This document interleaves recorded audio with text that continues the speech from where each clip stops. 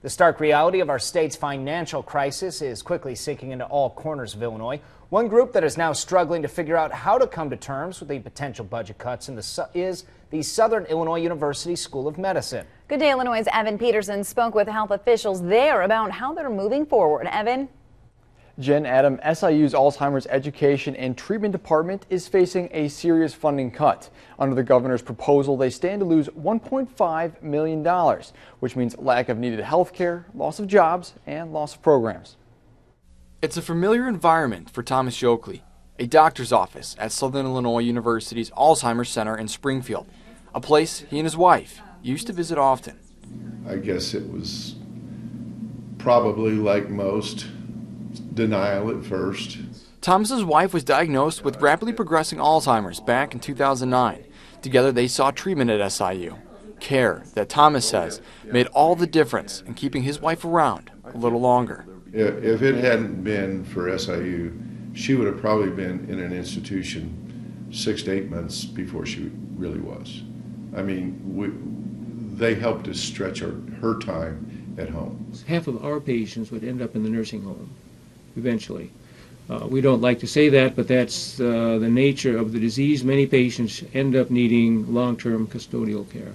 Currently, there's no cure for Alzheimer's, but the state funding SIU received increased the window of time patients had before completely falling victim to the disease.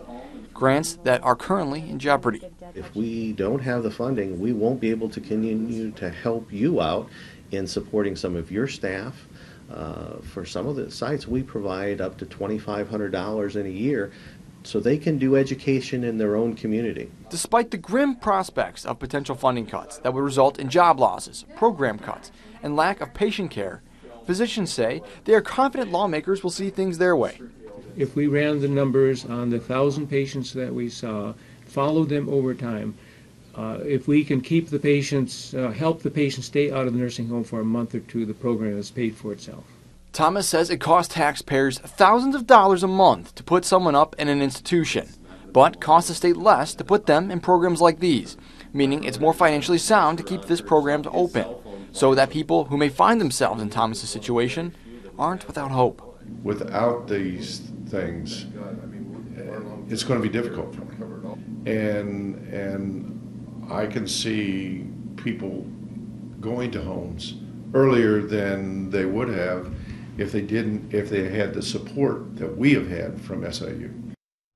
Governor Rauner's office issued a statement. It reads, quote, Illinois faces a $6 billion budget hole because of years of insider deals and financial recklessness.